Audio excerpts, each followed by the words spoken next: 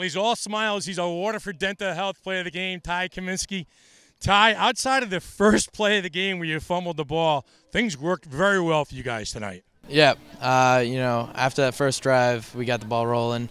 Um, you know, we just did our jobs. Uh, mindset we came here with was not make mistakes, um, and you know, just play our game. Yeah, this team right now is you know obviously clicking on all cylinders. You got a lot of good skilled people out there.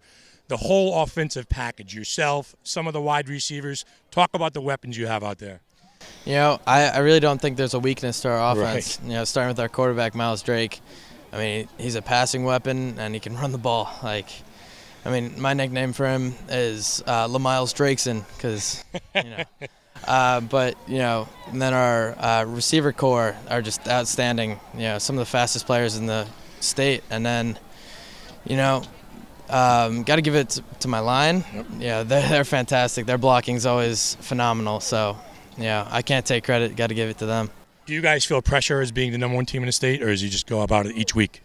You know, yeah, we just go about it each week doing our jobs. Uh, you know, we use as fuel to the fire. You know, just keep on getting better and just keep on proving that we own that spot. Right. Well, he can run, he can catch, and he can sure score touchdowns. Tighe Waterford Dental Health, player of the game, all smiles. Great job out there, son. Thank you. Thank all right. you.